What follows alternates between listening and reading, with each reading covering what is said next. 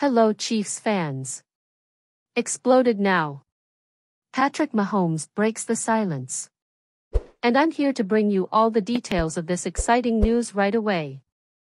So, to continue receiving all these Chiefs updates, make sure you're subscribed to the channel. Let's get to the important matters. Patrick Mahomes gets down to business with his brother, Travis Kelce, giving a light scolding about his ability to be a quarterback. He even pulls out an exclusive ping pong test to make it clear where he stands. It's no secret that Mahomes and Kelce have a brotherly vibe after years together. They are writing the history of the Chiefs, but Mahomes tells Kelce the truth about his fitness to be a quarterback. Speaking on the Kelce Brothers podcast, Mahomes was blunt, Kelce is not good at quarterback. Despite the numbers, Mahomes thinks if Kelce was the quarterback, they wouldn't have gotten this far. The truth is that, as much as Kelce has physical ability, he doesn't have the head for it.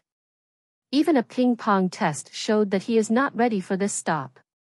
And there's no point in him wanting to look Coach Reid in the eye with that throwing arm. So forget about quarterback Kelce, even if Mahomes is out. What about you, fan? Did you like Mahomes' statements? Yes or no? Leave your opinion in the comments below and let's discuss this topic because it's crucial for the Chiefs. Don't forget to subscribe to the channel to keep receiving the latest Chiefs news. And give this video a thumbs up to support the channel.